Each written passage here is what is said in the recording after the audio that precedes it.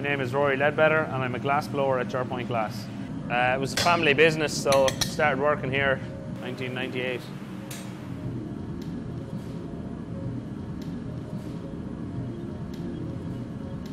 Glass was kind of first, uh, I don't know, was discovered the right word, but I'd say discovered uh, in, like, say, in the deserts where uh, lightning would have struck the sand and they found it to be kind of, you know, uh, a sheen on the sand the next morning kind of thing. You know, uh, from there they worked out that if you heated it, heated certain sands up enough, they uh, turned to glass, or some of them turned clear, I suppose, and some of them turned different colours. So they started uh, making crucibles of the stuff and gathering it and manipulating it and making functional shapes from it. That that's uh, thousands of years ago now. Like they've been uh, making glass for, I think, at least three thousand years they can date some pieces of glass back to. Uh, when it's hot, it's fast. When it cools down, it's slow. When it's room temperature, it's still moving, but imperceptibly. Glass is a liquid, even at room temperature. So if you look at, a, say, a really old glass window pane, like real glass, not modern glass that they put all the extra things in it to, you know, uh, insulate your home or whatever but real glass windows, really old ones. You look at them when they're five or six hundred years old, uh, the bottoms of them will be a lot thicker than the top.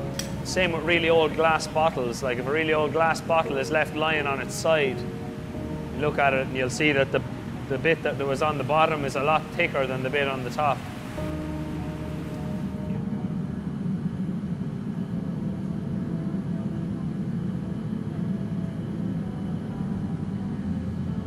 This is a very fine sand called silica that we use. We, we buy it in from East Germany. Uh, I suppose you probably can use other sands, but um, if you want to get, you know, the quality of glass that we, or our customers, I suppose, expect from us, you have to use, you know, only the only the best materials to make the glass. All sorts of glasses will melt at different temperatures depending on what they're made of.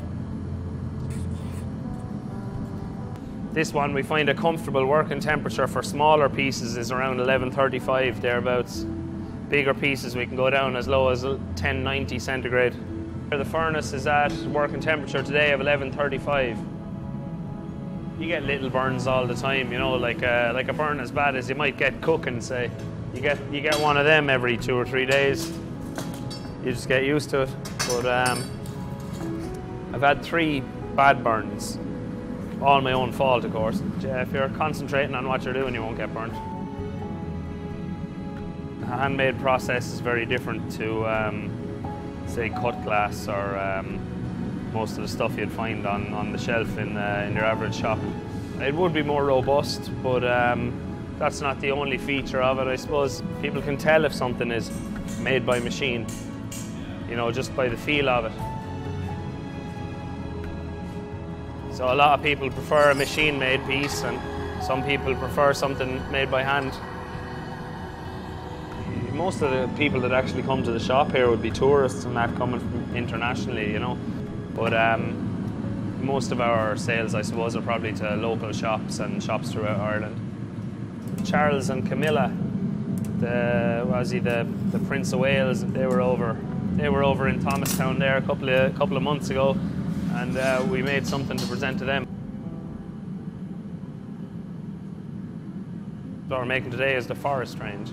So it's just uh, more kind of greeny colours. Sometimes we're making it up as we go along and other times, you know, we find a familiar shape and try and adapt it to something different, you know.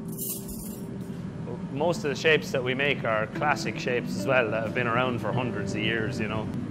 So uh, they wouldn't be our own design, they'd be ancient, ancient designs. Like for instance, a whiskey glass is a whiskey glass, no matter where you go. Like, do you know what I mean? A whiskey glass is just a whiskey shape, and this one is just uh, roughly a whiskey glass with less weight in the bottom. A nice light drinking glass, like a water glass or something. And so we put our own spin on it by putting a bit of colour around it.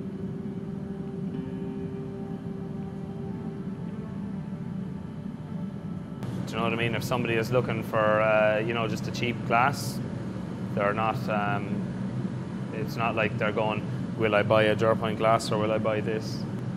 The, so whoever's buying those are, they're not. They're not our customers. Do you know what I mean? It's not.